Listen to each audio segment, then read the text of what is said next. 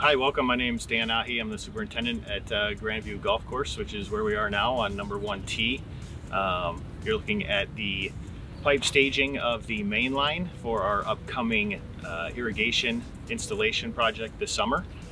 Um, I'm going to go through the process of the pipe fusion that we're doing. Um, so with this HDPE pipe, uh, it comes in 50 foot sticks and First they put them in the machine and they clamp each side of the pipe and they will put a blade on it which squares both ends of the pipe. And once both ends are squared and meet flushly uh, they will bring down a heater a heated plate which is set at a certain temperature and they heat the pipe.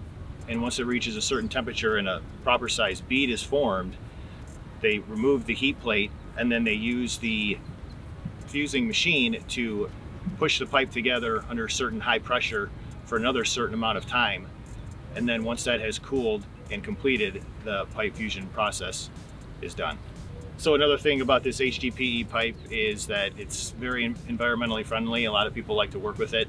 Um, it's got a very long life. Once this is in the ground, uh, it will last probably up to 100 years easily. Uh, so a great lifespan. Um, it's very flexible so you can move it around trees and any obstacles that you need.